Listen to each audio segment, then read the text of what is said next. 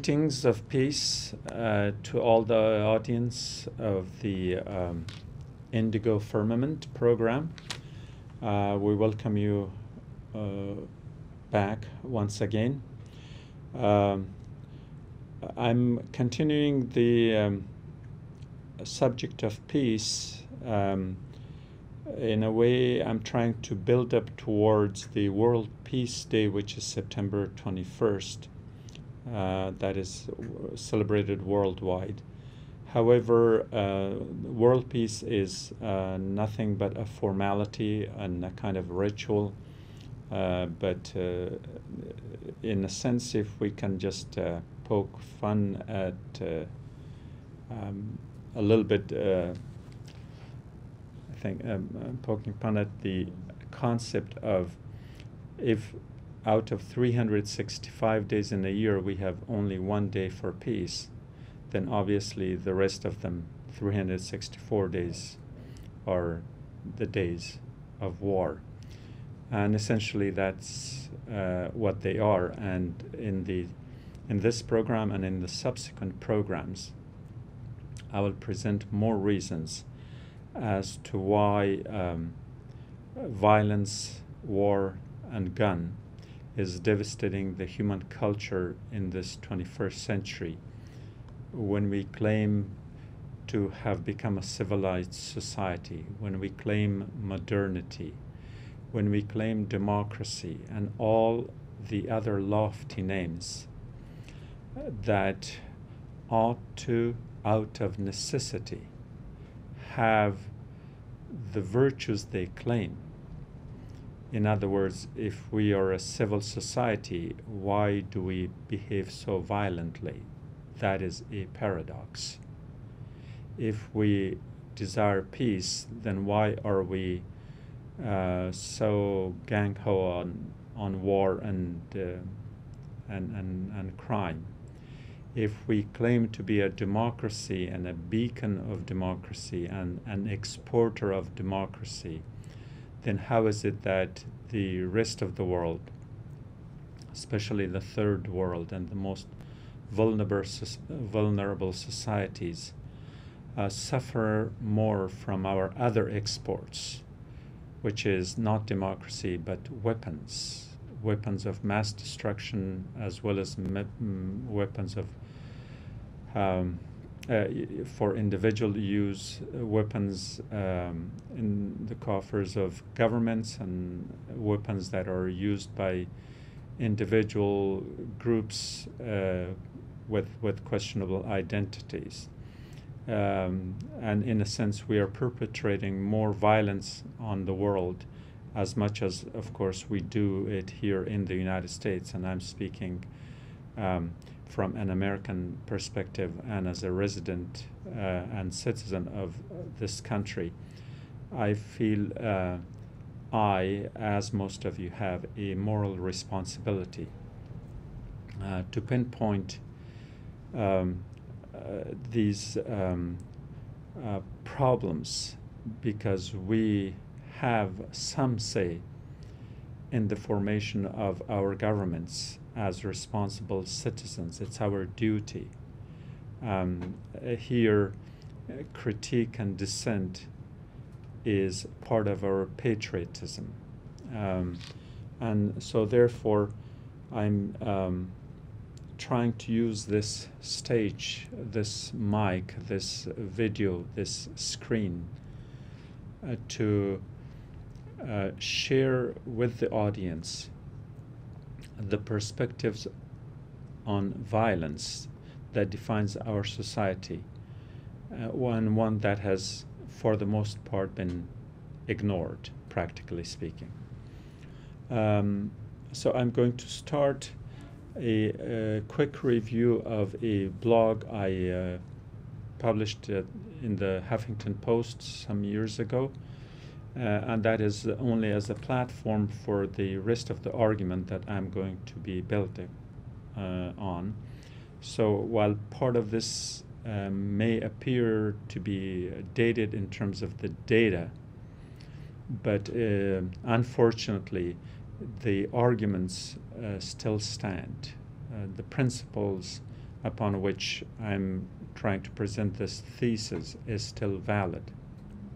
And humanity continues to suffer from uh, organized crime uh, under various titles and labels.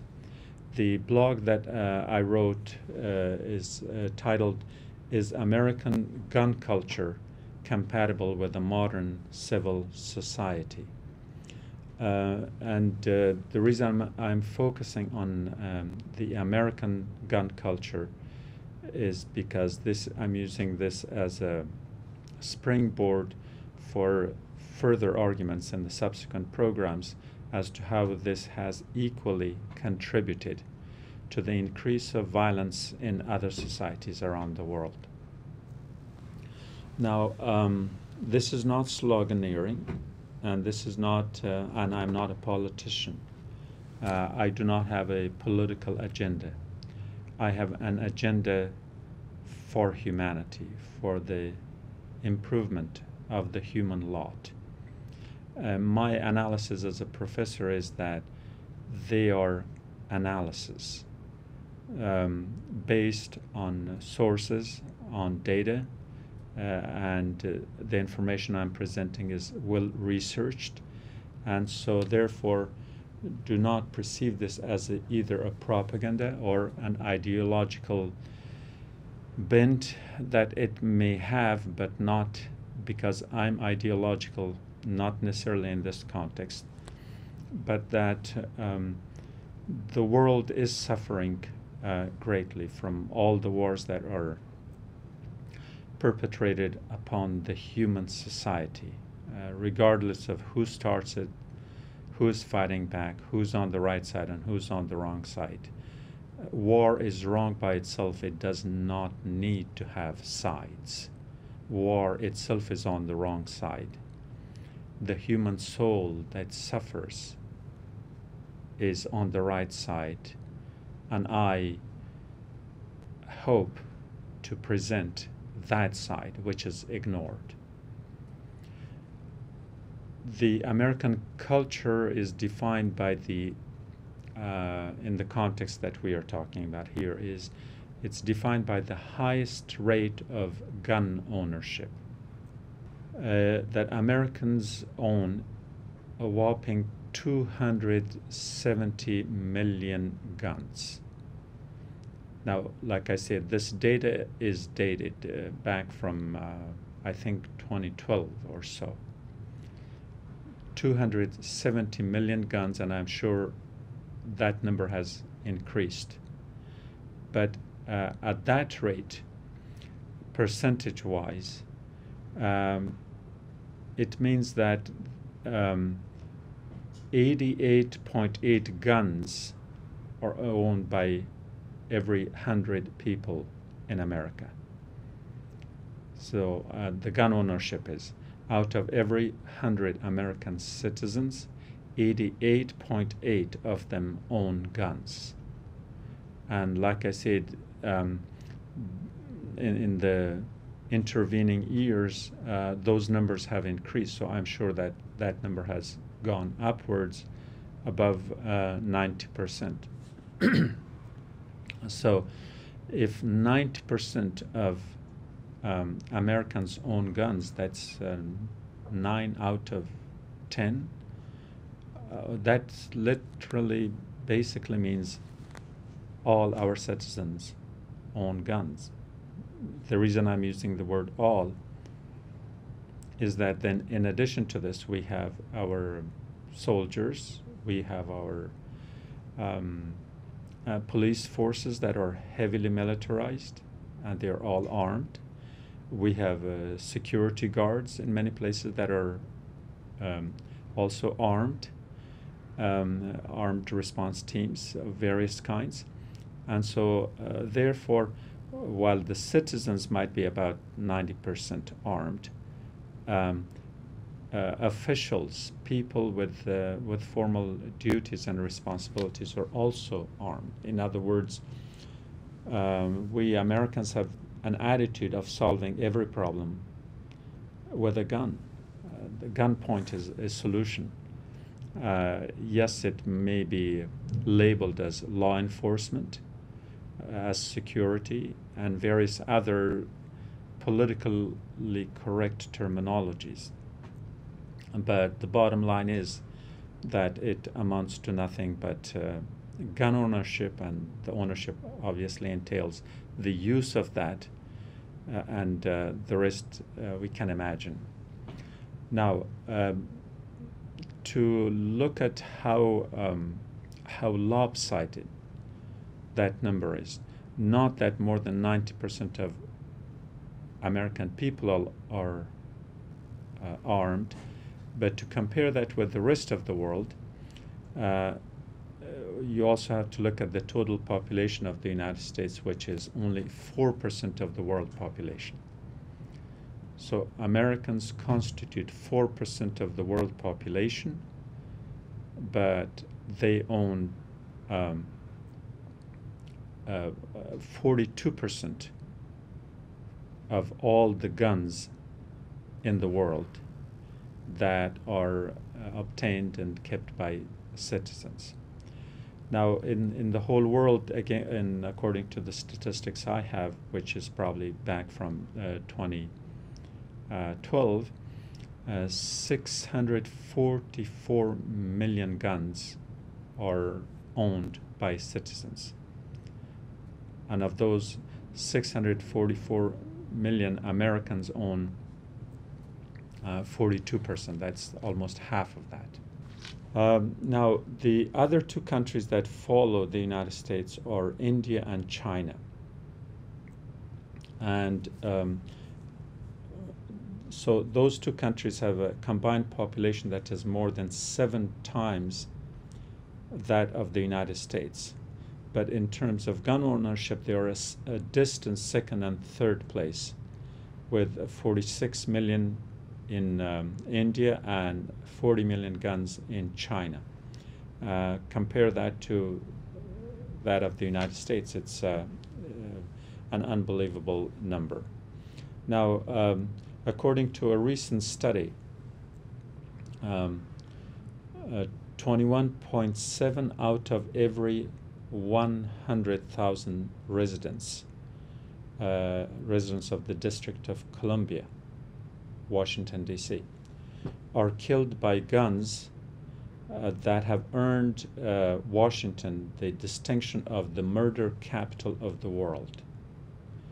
Um, so, again, that is a very uh, bleak number, which is um, 21.7 out of every 100,000 residents. Um, the picture is equally bleak um, in in the southern states, uh, in uh, uh, Louisiana and um, Alabama and the other deep south states. Um, we can also look at the cases of uh, incidents that we had uh, recently, that of mass murder. Um, the earlier ones were in Aurora, uh, Tech and uh, Columbine that I have referenced in the blog. However, there were uh, many others in more recent times. Uh, these are but small uh, blips on the radar screen of gun violence in America. A report by the National Center for Injury Prevention and Control shows that there were 52,000 over 52,000 deliberate and over 23,000 accidental non-fatal gunshot injuries in the United States during uh, 2000, the year 2000. Again, uh, this is a dated um, data from uh, 16 years ago. Uh, but to take those two numbers by themselves, uh, 52,000 and 23,000, uh, accidental. Now, uh, here we are not even talking about the element of crime, the motive, uh, or uh, any other uh, kind of a linkage or connection uh, that might speak of a criminal mind resorting to the use of violence.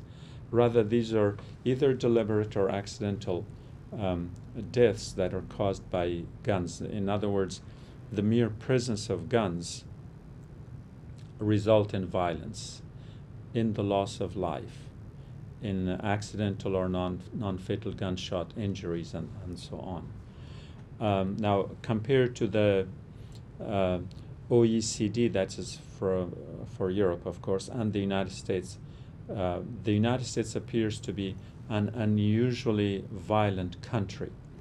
Uh, and according to the latest Duke University study uh, by uh, Kieran Healy, uh, again, the, uh, the difference is so drastic that if we at any point are able to get uh, through, through our technical problem and show the slides, you could see how different that is. So um, Let's see if we can go to slide number one to just have a quick review of um, the numbers I just spoke about because sometimes um, uh, images and slides show a lot better um, or, or, kind of um, transmit the point of view a lot better than otherwise. Uh, can we go to slide number one, please? Now, uh, when you look at uh, this slide, uh, you see that the uh, uh, the color coded indication here. Um, in uh, the darkest um, area here, which is the United States, here the gun ownership per 100 people is 70 to 100 and as you can see in the map, the United States qualifies for that um, as the only country around the world. Uh, we are just totally, totally out of the range of comparison. Uh, in uh, the second shade of the color, I think Yemen comes close to that, uh, 50 to 70 percent. This might uh, have to do with either uh, the degree of violence, that is, political violence and the civil war conditions, but they, even in the case of civil war, do not have as many weapons as we do. Uh, also the fact that in, in Yemen sometimes people carry weapons uh, as a, a, kind of as an ornament uh, to show their chivalry and uh, quote unquote manlyhood. Uh, then we have the uh, dark blue color, which again occupies most of the Western world Canada, Germany, France, the Scandinavian countries, Afghanistan, and Saudi Arabia and here again, uh, 30 to 50 percent of the people uh, own guns. Um, you could um, excuse Afghanistan for uh, having so many guns because of the, you know, perpetual civil war and uh, invasions that have been going on, and the arming of different factions by uh, foreign foreign powers. But then, when you look at it. Um, and the same could be said about Iraq, which falls in this category. Uh, but um, uh, one could say, well, what's the excuse for um, Norway and Sweden and uh, Germany and France and Canada? Uh, again, I'm saying that perhaps this hints to uh, kind of a, a, cultural trend of people being more of a warrior cultural mentality. The next category below that is the um, green color and here the gun ownership is 10 to 30 percent or 10 to 30 per 100 people and those are uh, uh, countries like uh, Mexico, uh, Argentina, Bolivia and Colombia where of course the narcotics may have may play a role and then also countries like uh, uh, Pakistan, Libya and um, uh, some South African countries and, and Australia, uh, which is a very high category. Now, the lowest degree of gun ownership, that is from um, 0.1 to 10, happens to be in the former communist countries. Um, uh, those are the light green colors, as you can see in the map. Um, and of course, uh, India and a, a large chunk of Africa and uh, here is where you can see that yes, uh, communism may have been bad. It may not have given us all the civil liberties, and the society was um, controlled from above and a one-party system. You can blame a lot of things on communism, but you can't deny the fact that at some degree, perhaps, that social control contributed to the uh, preservation of life and of having uh, rather fewer casualties. Let me also, uh, let's go now to slide number two, and this is the one that uh, shows gun ownership the, in the United States. Uh, again, uh, when you look at these numbers, these are the numbers of deaths due to injury by firearms per 100,000 population. This uh, map is from 2007 and as you can see again somehow there is a correlation between uh, poverty um, and, uh, and, and gun ownership. Uh, Louisiana is one of the uh, poorest states in the United States and it has the highest number of guns there. Uh, one wonders whether they would be better off uh, selling off the guns and buying food or uh, investing that money in health and education and welfare and other things.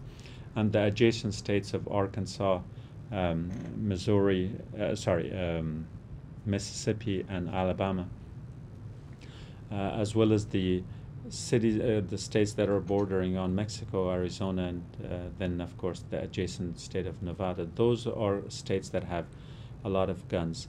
And then you could also see for the rest of it that um, basically it's the southern part of the United States, and I'm not talking about the deep south, but basically the entire half of the south. Then you could also uh, extrapolate from this and um, uh, explain that through a correlation between uh, conservatism, perhaps, or religiosity, the Bible Belt, and so on and so forth.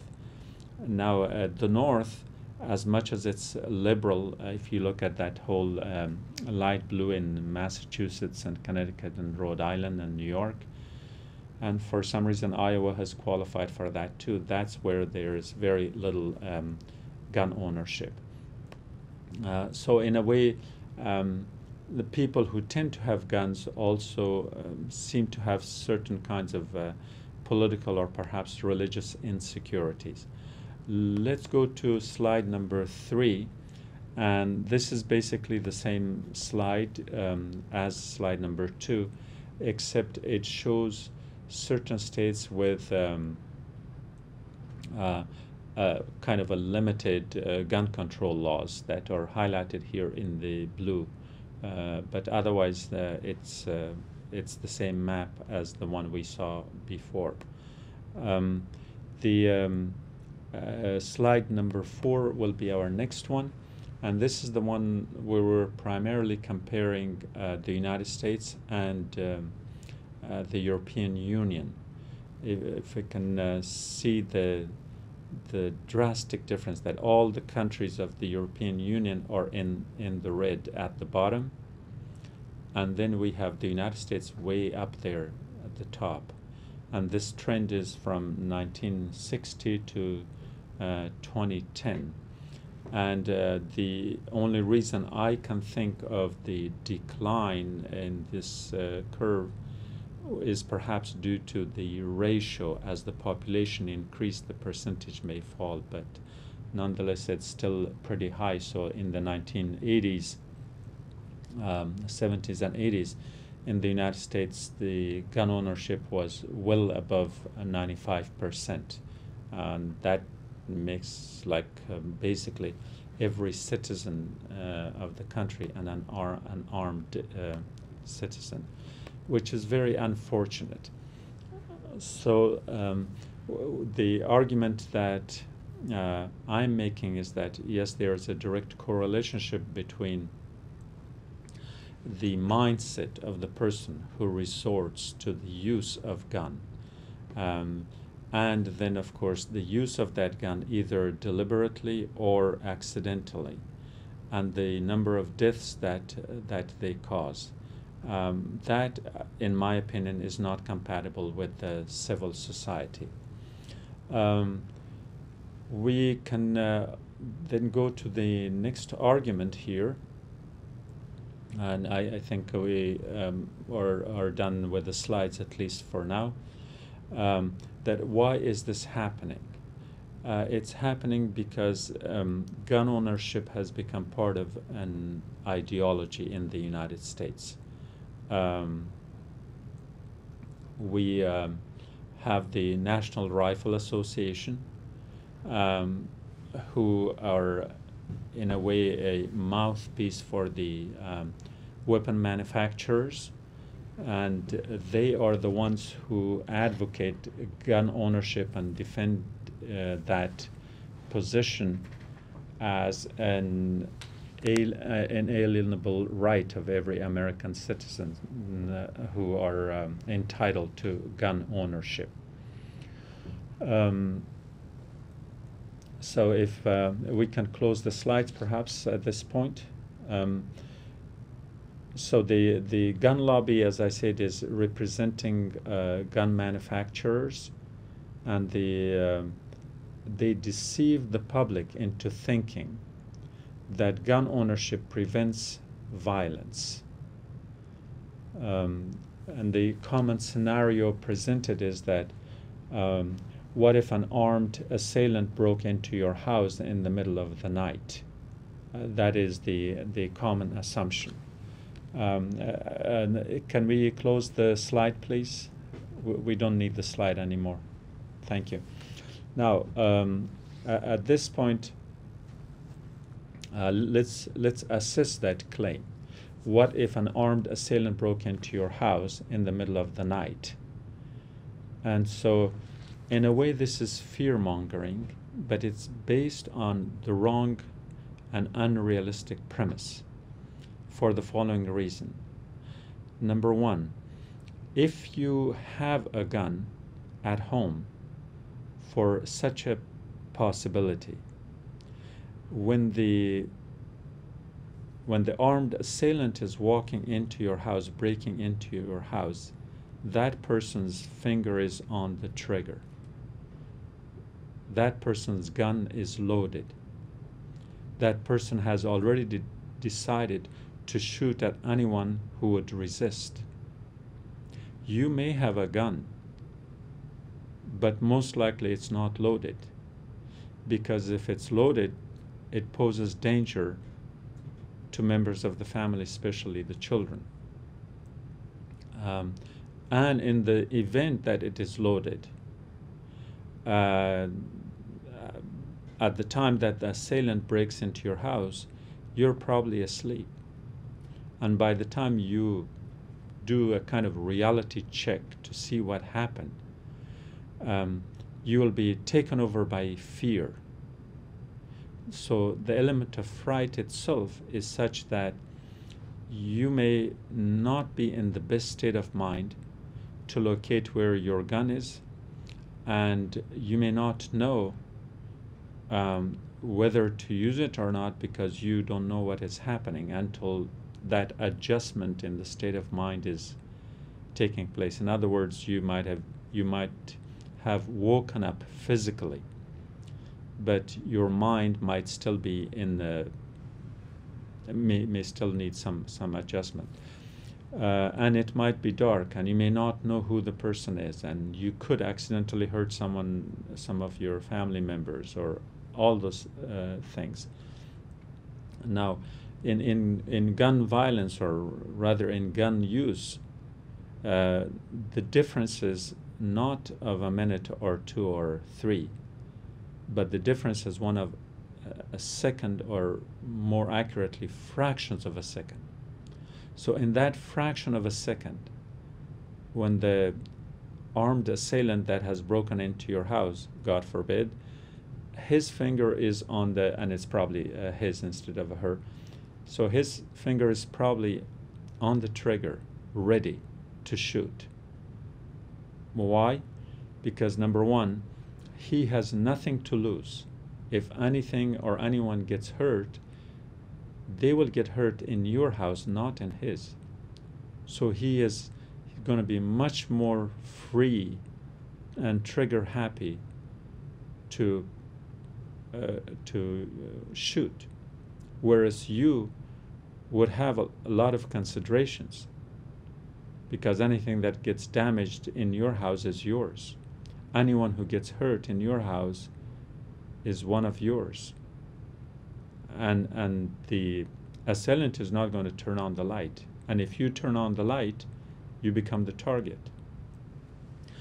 Uh, let's look at a different um, uh, aspect of the same scenario that is uh, misleading and misrepresented. Suppose um, an armed assailant walks into your house and you have a gun versus you not having a gun. Which one increases the chance of you being shot? Obviously, if you have a gun, he has to shoot you to prevent you from shooting him. So, in other words, your gun ownership guarantees you being killed. Whereas if you don't have a gun, chances are that he might ask for for money, for jewelry, whatever he's after, without necessarily killing you, because as a professional burglar and thief, he doesn't want to get in trouble with the law. He doesn't want to make noise. He doesn't want to um, the, the gunshots to be heard because someone else could call the police. So if you don't have a gun, the gun, uh, the, the gun owner or the assailant, the armed assailant, has less of an incentive to shoot you than otherwise. So these are uh, the distortions uh, that are presented, or more accurately, misrepresented. And, and, and uh, these are the ones they convince the people that yes, you have to fight for the gun ownership because it, it, it will protect you. In reality, gun ownership does not protect you but puts you in danger. Because with an armed assailant, you're a target, and there's no question that the armed assailant is going to shoot you, not so much to kill you, but to prevent you from killing him. And so, therefore, that scenario that uh, just just doesn't hold water here. Um, the other way to look at it is that aside from the fact that the criminal always stays uh, one step ahead of the victim and one step ahead of the law enforcement, the probability of survival in a fraction of a second quick reflex decision is less than 50% at best. Um, the reason that criminals succeed in what they do is because they plan. And the reason that in most cases they can get away with it is because the police and security forces that respond the response is a reaction, and obviously, reaction takes place after the action has already occurred. And so they are playing a catch up uh, game all the way through. Um, considering that a criminal can legally carry high caliber heavy guns like uh, the AR 15, for which again the NRA uh, lobbies heavily. So you may have a gun uh, that might be you know a small gun that you bought for yourself for your own safety um, and I don't want to get too technical but uh, that will be no um, no match uh, for a heavy gun that can shoot bullets at uh, spray bullets you know at, at, a very high speed and uh, um, and, and cause a whole lot of damage.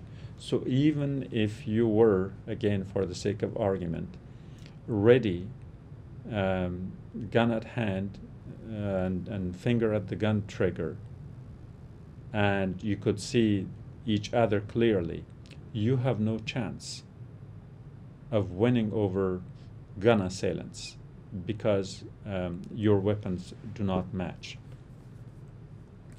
Um, there's been uh, a study between um, 1987 and 1990 by, uh, by David McDowall that found that guns were used in defense during a crime incident 64,000 times annually. Uh, the number is a little over 64. Um, so it, they were used during a crime incident. Number one, that's important.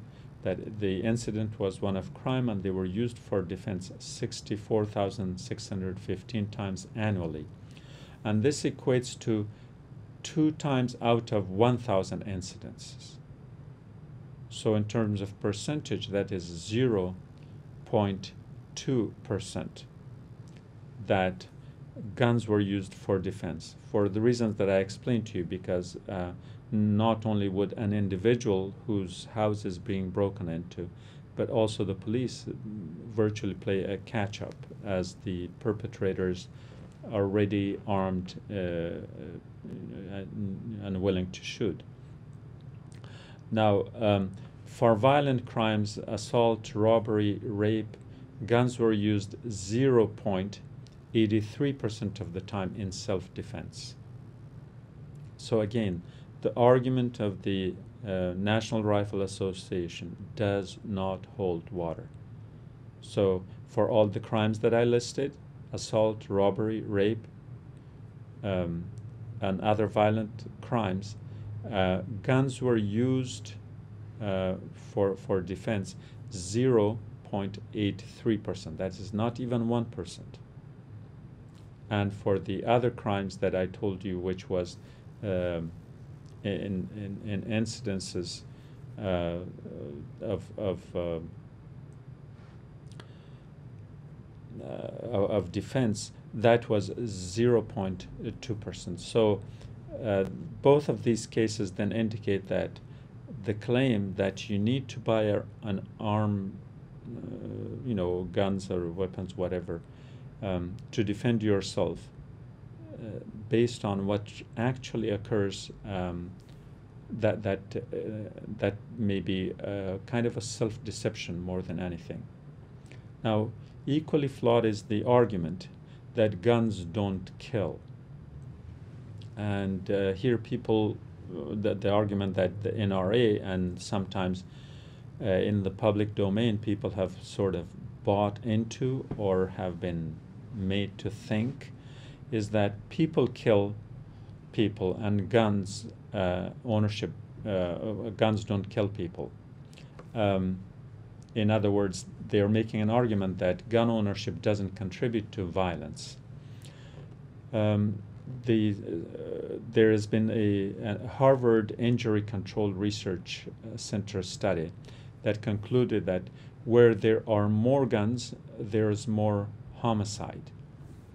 Uh, and the reason for that is that one, that the map I showed you earlier, that there's a, a close correlation between um, um, poverty, perhaps, and uh, perhaps a more conservative uh, viewpoint on, on issues um, that all indicate that um, uh, gun equals um, loss of life. Um, the one study that uh, I'm referring to that was done by uh, Hepburn, Lisa Hepburn, and Hemenway, David Hemenway, uh, they concluded that, uh, that in their review of the academic literature, they found out that a broad array of evidence indicates that gun availability is a risk factor for homicide, both in the United States and across high income countries. So, again, we are talking primarily um, uh, Europe and the first world and uh, case control studies, ecological time series, and cross sectional studies indicate that in homes, cities, states, and regions in the United States where there are more guns, both men and women are at a higher risk for homicide, particularly firearm homicide. Um, and the, these studies have been uh, confirmed by others. Uh, one that was uh, in the Journal of uh, Trauma in the year 2000. Again, uh, I, I will uh, save you the trouble of going through the details of the research, but there were continuous um, studies con- by different organizations, and all of them reached that, that one conclusion. And in order to uh, support the argument that, uh, uh, or rather to respond to the argument that people kill people and guns don't. The missing argument here is that the enabler element is not here. Um, yes, people kill people, but how do they kill, or with what do they kill? If a person has, uh, let's say, a dagger, a sword, a knife, or some sharp object, there's no way that that person, even if he is willing and his opponents are totally disarmed, they cannot kill. Uh, they cannot uh, kill uh, en masse. The case of mass murders that, that we have seen in many places in the United States. Uh, the reason is that uh, a person with a knife would have to engage an opponent. And yes, some of his opponents might be weaker than him, so he can overpower them. But that not that is not necessarily uh, that may not necessarily be the case with his third and fourth victim. And again, other victims uh, or potential victims uh, may may gang up on on the assailant and disarm him and stop him from committing crime. And yes, it's still possible that yes, you might get stabbed, but it doesn't necessarily mean that you're going to get killed. So you might uh, um, have severe injuries. Uh, so therefore, uh, with a knife or with any other sharp object, um, and, and, let's forget about sword and the dagger because carrying those around would be kind of a signaling and uh, uh, might prevent an, an, insane person from committing such a crime. But the idea is that um, uh, people kill people, but people kill more with more lethal weapons. And with a gun, um, you can uh, you don't have to overpower someone physically you don't have to engage someone. You don't have to get even close to a person. You can shoot them from a distance, disable them, kill them, and shoot them many times over. And, and the incidence or the occurrence of death from such violence is much, much higher. Now, we haven't even talked about the AR 15 and AK 47 and all the other machine guns um, uh, that, that have magazines that carry more um, munition. Uh, we haven't even talked about that. And unfortunately, those weapons that were designed to be for uh, for the battlefield are now used in many of America's streets, and um, they they are sold in gun shows and uh, and the rest, which we don't need to get get there. Now, the profit motive of the gun manufacturer is conveniently hidden by the gun lobby behind a misconstrued interpretation of the Second Amendment of the Constitution of the United States. This is the heart of the whole argument I'm trying to get to.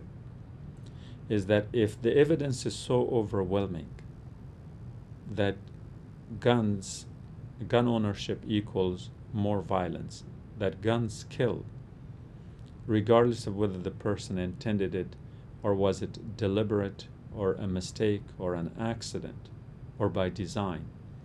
Guns kill, and more powerful guns kill more, and guns bought and sold in societies and cities and towns where there is no gun control basically makes that killing, at least in terms of the instrument uh, employed in the crime, it could be a legally purchased machine gun.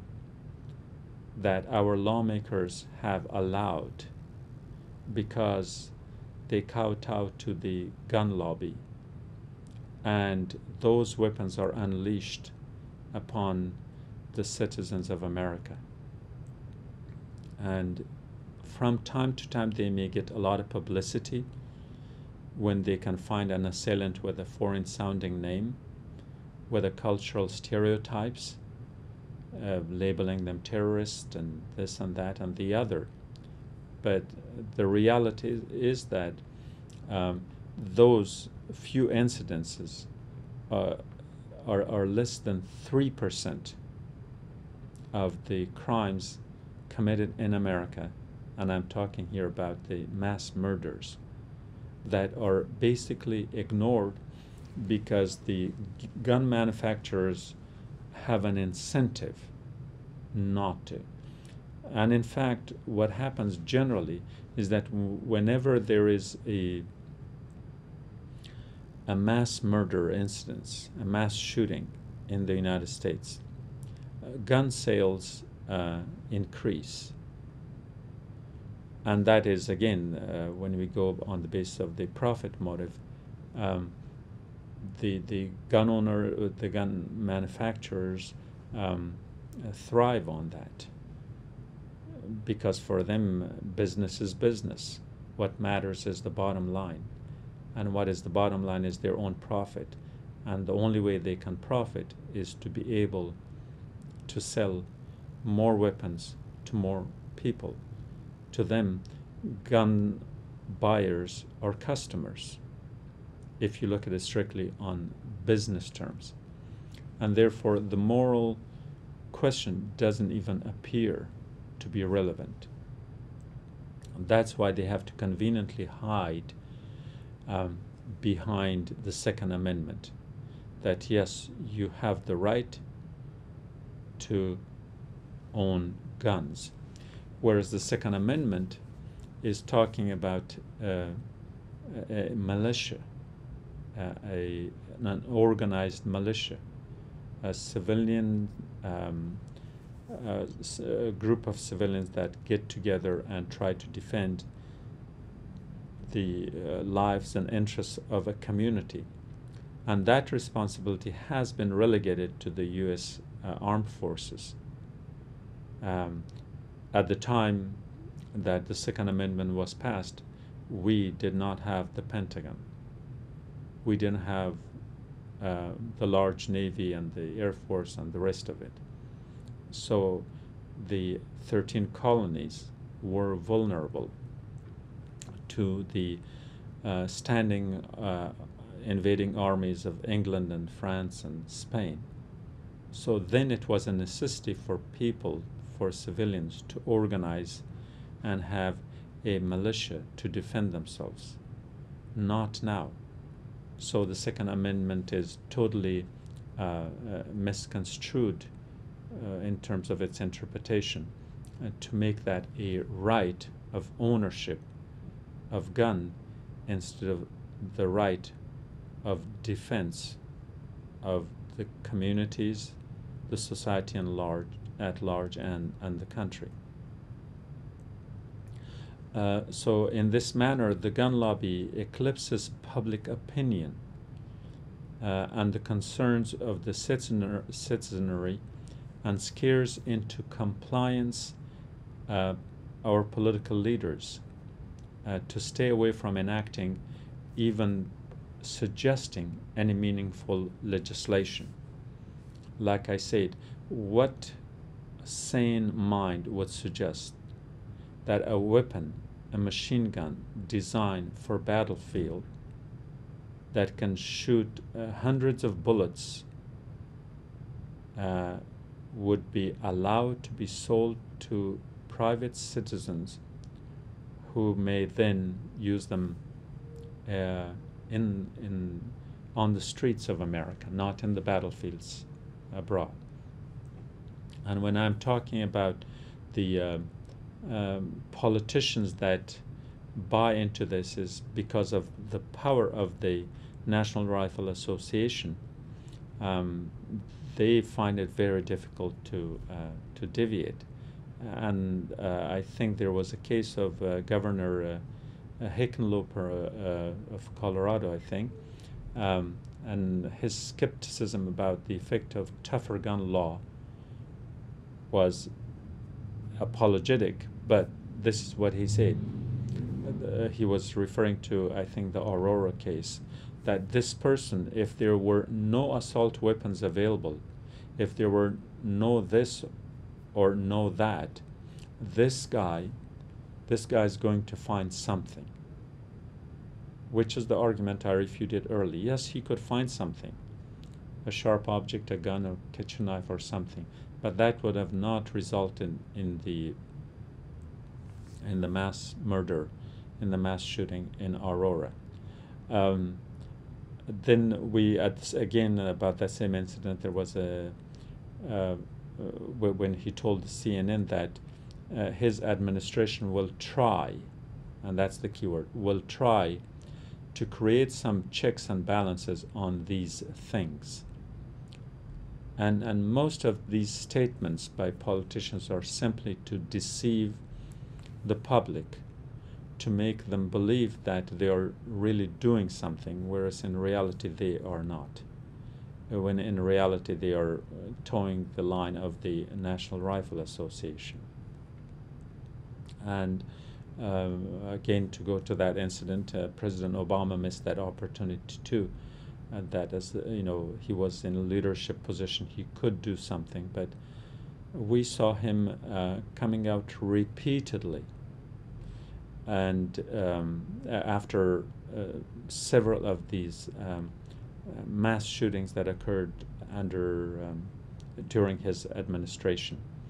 Uh, and again um, uh, it is one of ineptness of indifference that is coded in political jargon so that people would uh, think that our politicians are doing something. But uh, what is happening in reality, uh, factually, in terms of data and numbers, is that more and more Americans um, become owners of guns. And as I said earlier, that results in more and more um, killing. We hear only of the mass killings, but uh, there is a lot more uh, than that.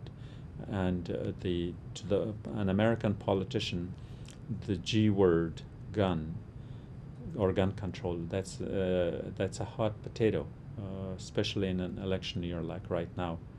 Um, that, that they're um, absent from from the pitch perfect speeches of, of the politicians who try to um, advocate and make promises that they will be serving us, but in reality, they are serving the gun lobbies first, and only by necessity, and only minimally, and only through a deception. They make promises that they know well that they won't be able to deliver on. Um, this reality is born by a wild, wild west mindset that questions our commitment to democracy at home and abroad. And we may not be able to get to the abroad part of it in uh, uh, in its all all its dimensions, but yes, we will get there. Um, today, I'm, I'm concentrating only on, uh, again, the American society.